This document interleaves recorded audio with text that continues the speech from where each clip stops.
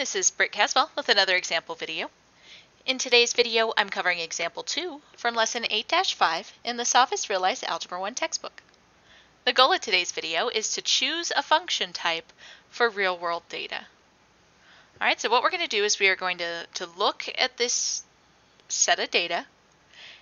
We are going to try to figure out a function that would best model that data and then use it to help the owner of this framing store to track the cost of bubble wrap. All right, so this is how we make some approximations, which helps in business all the time. So here we go. So the first thing that we're going to do is we're going to figure out if we need a linear model, a quadratic model, or an exponential model.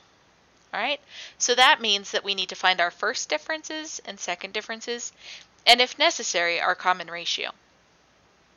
So Savvas has already done that for us. All right, our first differences, which is when I subtract my y values, came out like this, and these are not very constant, right? You could see they're going up about by 10 each time.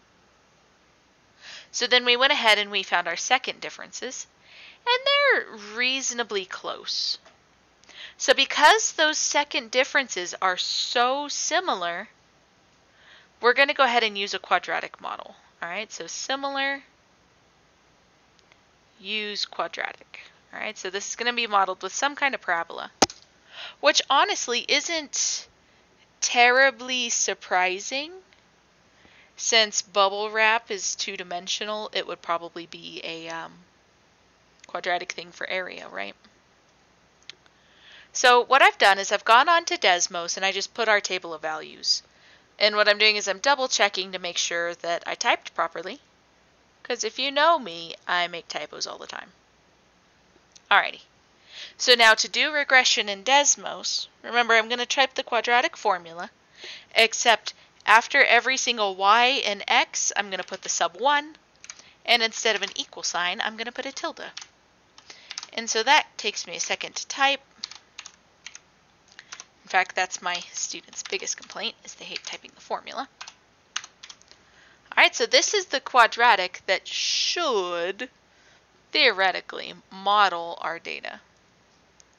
So notice on this that it's giving me my parameters A, B, and C here. These aren't quite lining up to what uh, Desmos is telling me. Okay, Desmos, oh no, it is telling me. Sorry, I meant um, Savvas. Savvas is giving us a little table um, as well that has these numbers I just can't read. So there that is. Now what's interesting is the R squared statistic that um, Savvas is pulling up is 0.999, like there's five nines, 17607. Whereas this R squared statistic rounded it to 1.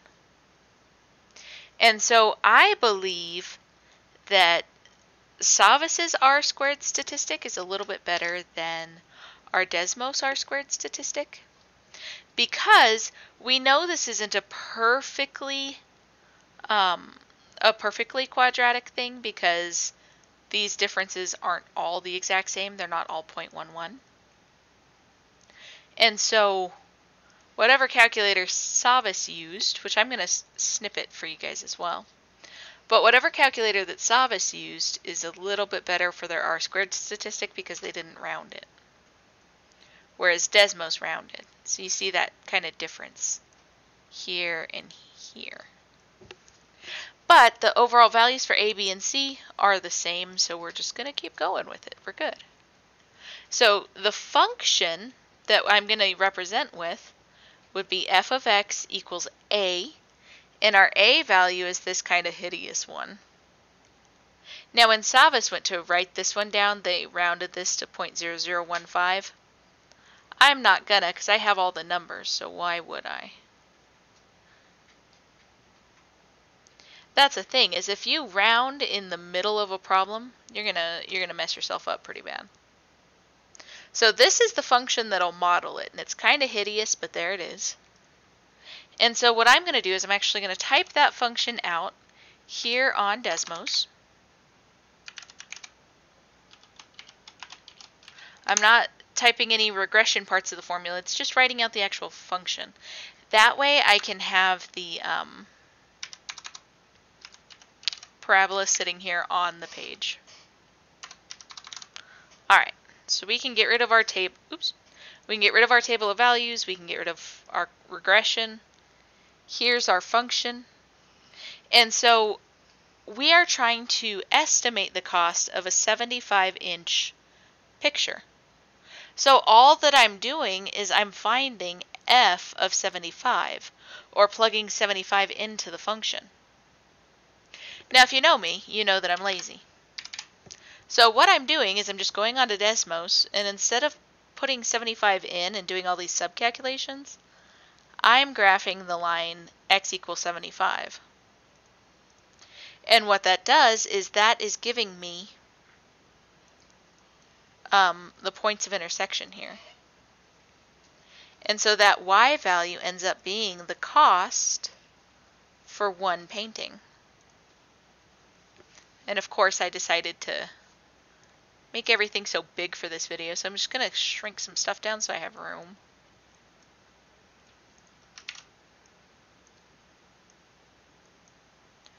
There we go, that looks a little better. And so you could see from, from my Desmos graph that the cost of one picture would be about $8.94 for the 75 inch picture. Um, now that's different than what Savvas got. All right, so I'm going to take a screenshot of Savvas and show you what Savvas is saying. They did the same thing, but they're using a different calculator. And they also rounded their equation, right? Remember how I was saying for A they used 0.0015? And so when they rounded to make their equation, that rounding is changing their answer. So do you see how their estimate, what they got was $9.01 and I had eight dollars and ninety-four. So that rounding mid-problem is changing the actual answer. So you want to make sure that, you know, you round in the same places that Savvas rounds in and you may not, and that's okay. So now for the try it, they want us to pick which model would be best to um, would be best to use. And then we have these tables here, which came from doing regressions on Desmos, and we're picking which one's the best table. Okay? So let's start by finding our D1, which is our, our first difference. Alright, so remember when I'm finding my first difference, I'm taking a, the y value and dividing it by, uh, or I'm sorry, subtracting it with the y value before it. So 89.5 minus 100, that gives me negative 10.5. 78.9 minus 89.5 is negative 10.6. 68.4 minus 78.9 is negative 10.9, uh, 10.5. So these are all very close, aren't they? And 57.8 minus 68.4 is negative 10.6. So these are all really close with the difference 1. So I'd imagine it's probably going to be a linear function. Um, but you always want to check and make sure that uh, you're not wrong. Sorry if you hear any bells in the background. My cat is quite excited. He just got a new toy. Alright, so now we're doing... Clear out my calculator. So now I'm doing the difference too. So I'm taking things and subtracting them. So negative 10.6 minus uh, 10, negative 10.5 is the same thing as adding 10.5. So that's a difference of negative 0.1. Negative 10.5 minus negative 10.6 is a difference of positive 1, or 0.1. And then I'm doing that subtraction again, where it goes back to negative 0.1.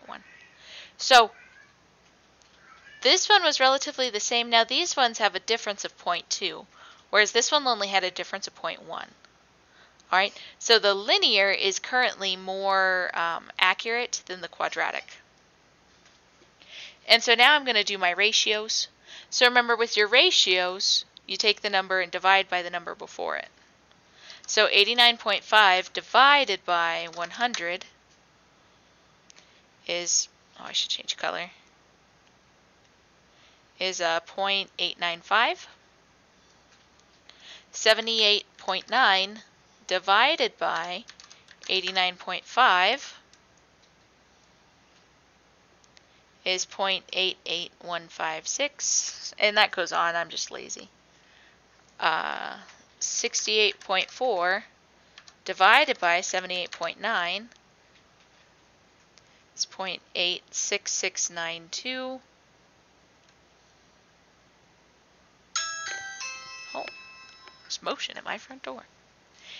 And uh, 57.8 divided by 68.4 is 0.845. Alrighty, so the com the the ratio here is not constant. So I would probably not stick with exponential. I would probably go with the the linear model. Okay. So if I choose the linear model, you can see here that the um, the r squared statistic is 1. So that's how you know this one fits really well. The one that fits least well, according to the r squared statistic, is our exponential model. See how it is further away from 1? Um, our quadratic is also really close, because remember how I said these were pretty dang close to each other? Um, but this one had a bigger like difference between the two, right? This one had a difference of 0.2, whereas these had a difference of 0.1 from each other. And so that's why the linear is a little bit better. So there we have it, guys. That is how to choose a function type for real-world data. Until next time.